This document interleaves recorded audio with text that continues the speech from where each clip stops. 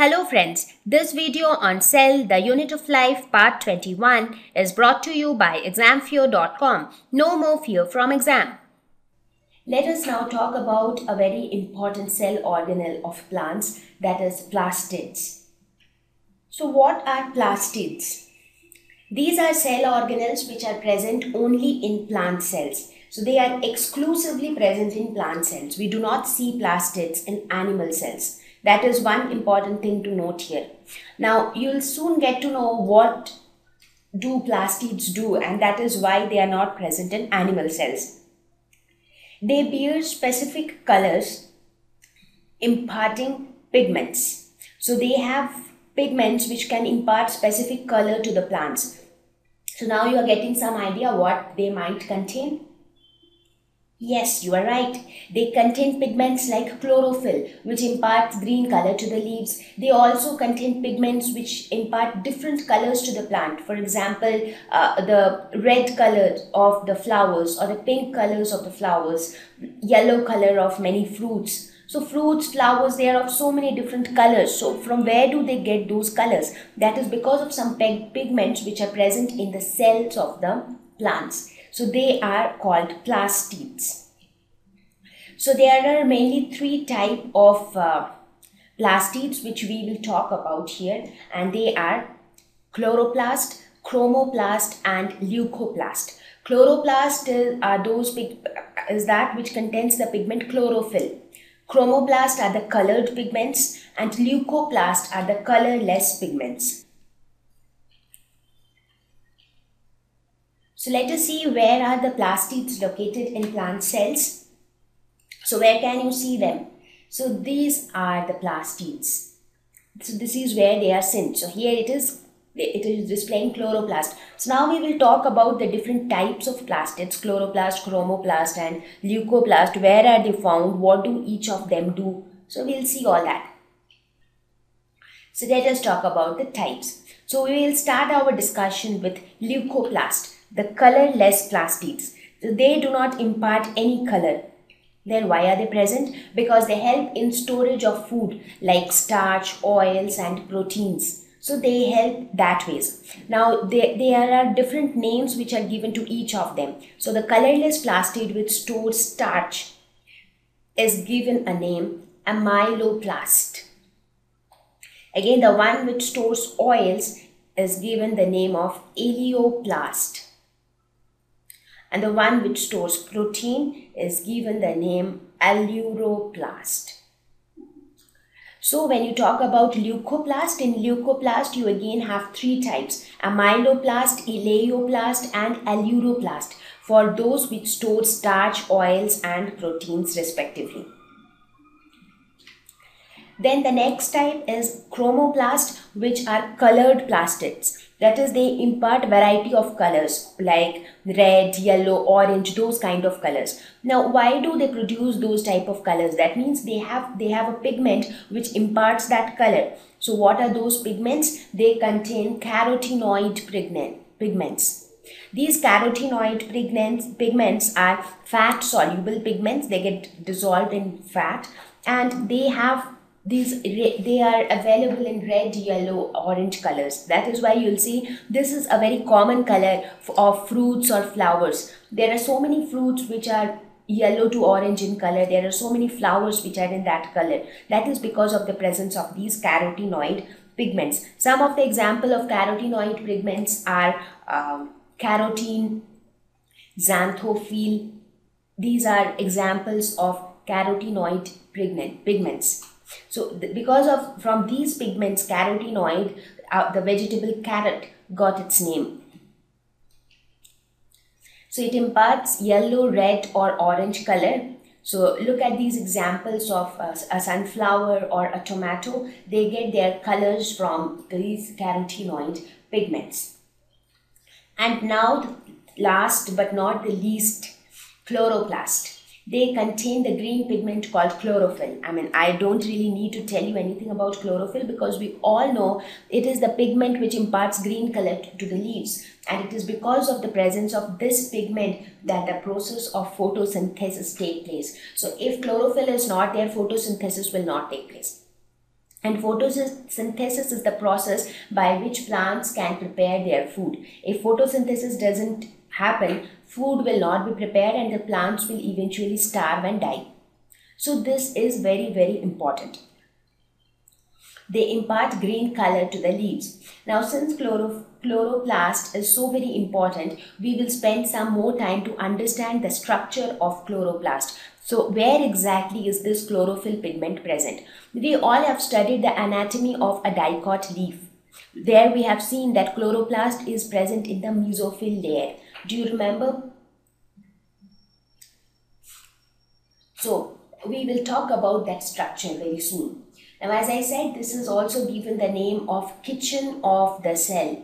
So chloroplast is the kitchen of the cell. So you see you have a kitchen in the cell which is chloroplast. You have a powerhouse in the cell which is mitochondria. You have a control center in the cell which is nucleus. So inside the cell different compartments have been given different specific functions. And that is why we talk about compartmentalization of the cell. Now, as I said, they are present in the mesophyll layer. You remember this anatomy of dicot leaf.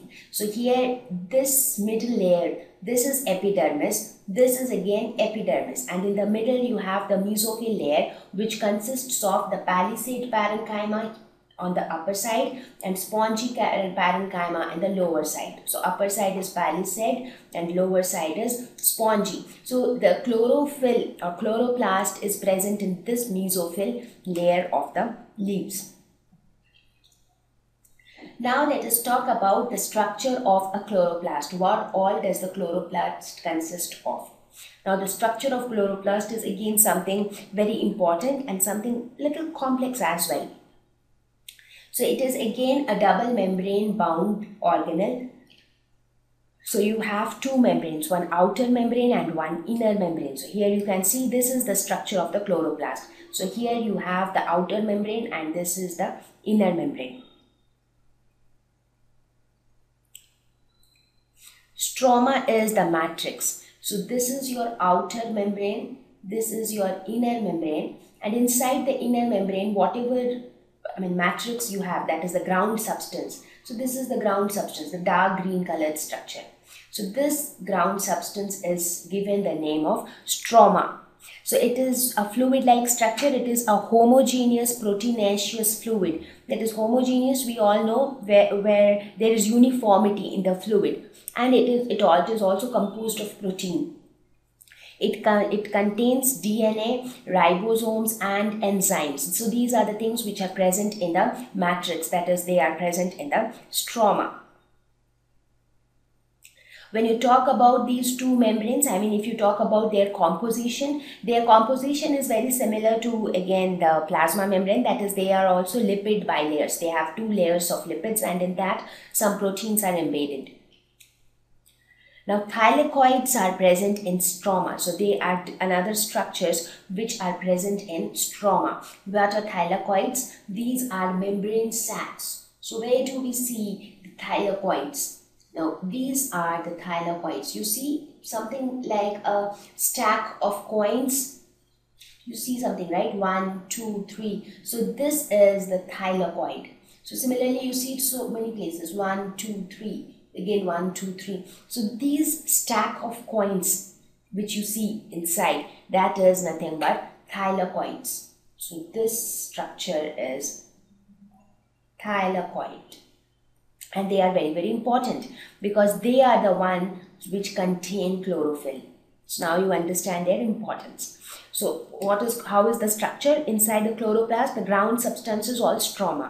In that stroma, there are some membrane bound sacs. So each of these coins which you see, they are not coins, but I'm just comparing them with coins so that it is easier for you to visualize. So they are like coin-like structure. So each of the coin will have a membrane. So they are membrane bound sacs and they are arranged in stacks like the piles of coins and they are also known as granule thylakoids or simply thylakoids and they are the ones which contain chlorophyll.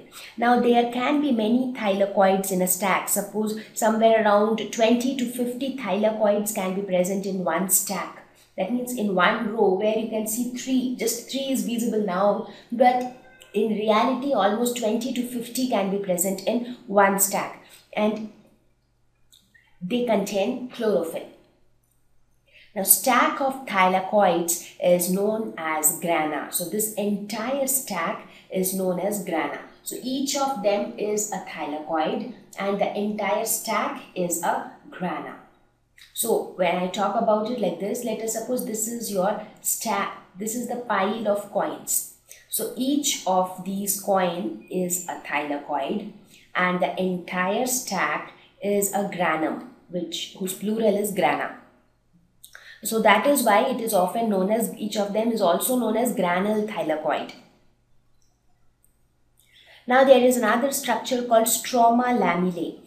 What are stroma lamellae? They connect the granule thylakoids. Let us suppose there is one stack like this. There is another stack like this. So there is a structure which connects these two and this structure is known as stroma lamellae. So where do we see stroma lamellae here? Here you can see it here. This is one stack, this is one grana, this is another granule thylakoid. So this structure is stroma lamellae. So they are tube-like structures and they connect the granule thylakoids. Now when you talk about the grana, there are there can be many grana, many piles like this present in the stroma. Almost 40 to 100 grana can occur in a chloroplast. So in one chloroplast, at, at, at even 100 grana can occur. Now the arrangement of lipids, enzymes and pigment components is so precise that without these photosynthesis cannot happen. So everything has to be present in the right quantity everywhere. And that is how the process of photosynthesis take place. So now you understand how the chloroplast look from inside. They have a matrix that is stroma. Inside that they have coin-like structures called thylakoids which are arranged in piles and those piles are called grana. Now those pile of thylakoids are connected to each other with the help of stroma lamellae and these thylakoids contain the chlorophyll. So that is how the internal structure of chloroplast is.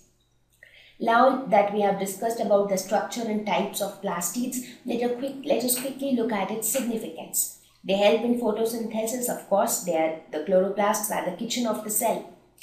They also help in storage of plant food. For example, the leucoplasts, which are colorless plastids. They do not impart any color, but they help in storing starch, oils, proteins. They have their own DNA and ribosomes, so can make their own proteins. So again, this is one similarity of plastids with mitochondria. So they also do not have to depend on any external cell organelle to prepare their proteins. So they are again self-dependent. Thank you. Please visit www.examfear.com to watch more videos, attempt free online test, get free study material, find tutors and mentors. Thank you once again.